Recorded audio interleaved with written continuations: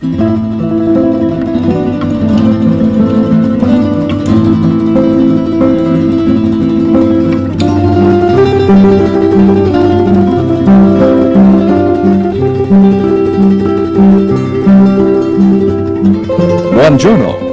Join us now as the great chefs cook Italian, featuring from Nantucket Island, Seth Raynor. From New York City, Lidia Bastianich.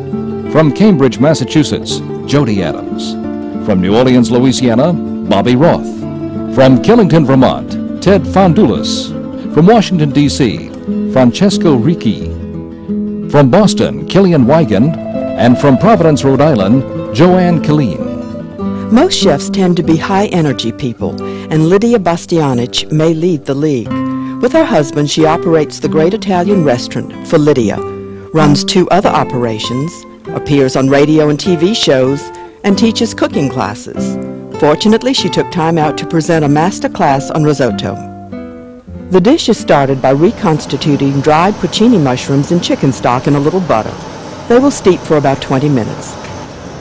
A combination of fresh wild mushrooms will be sautéed and added to the risotto toward the end of cooking. Chopped onion and shallot are wilted in olive oil to begin the risotto. Let's, let's, let's, let's just get the... The fresh mushrooms go into a sauté pan with some butter.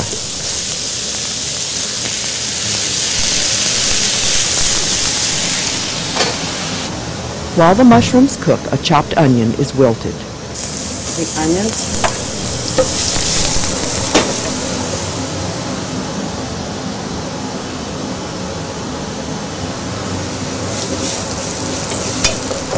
Just wilt the onions a little bit and then, well, um, with, with the rice, we're going to put the onions, the shallots a little bit right after, and then the rice right into that.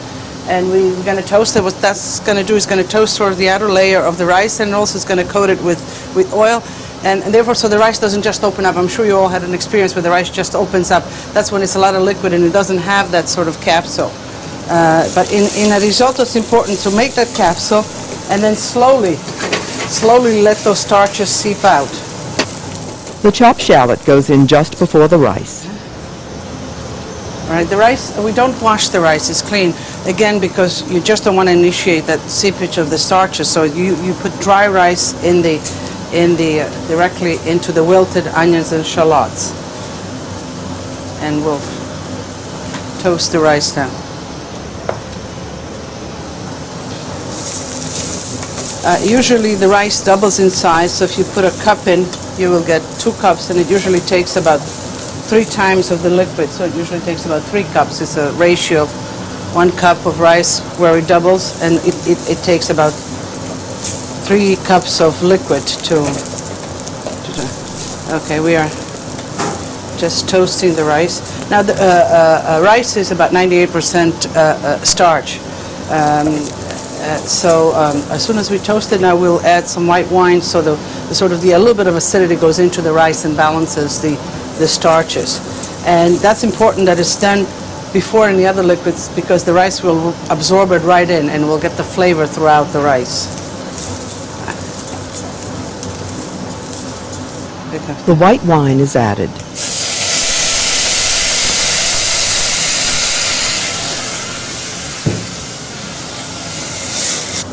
Okay, I'll add the chopped dry porcini mushrooms.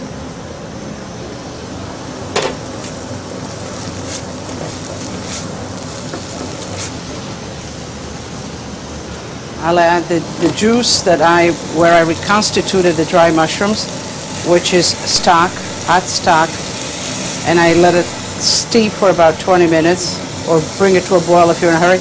But it's important that you, you know, there's a little bit of grit. You leave that at the, uh, what's also very important is that the stock that you keep on adding is at a temper the same temperature, so the stock should be boiling and hot, because again you have the starches, and if you are to order uh, to add cold stock or whatever, you would uh, coagulate those starches. You don't want you want that creaminess to continue.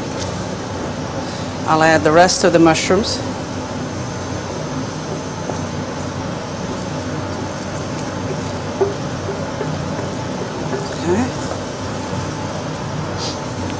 Use all of the flavor here. Risotto cooks anywhere from, from 12 to 16 minutes, depending on the heat, depending on the pot, depending on More chicken stock is gradually added until the ratio of three parts stock to one part rice is achieved. A risotto in a milk is used in Italy a lot as, a, as an appetizer, as a beginner, as a starter uh, in the minestra course. And uh, in that case, usually it's given maybe three quarters of a cup per portion. But the risotto also could be a main course. When the risotto is ready, off heat, butter and grated parmesan are added to what already is a flavor-packed dish. Okay, once the butter is all mantecato sort of mixed in, we'll add the cheese, Parmigiano, Parmigiano Reggiano in this case. Also, the cheese is the cheese is a, a pre-cooked, pre-digested food, so you really don't.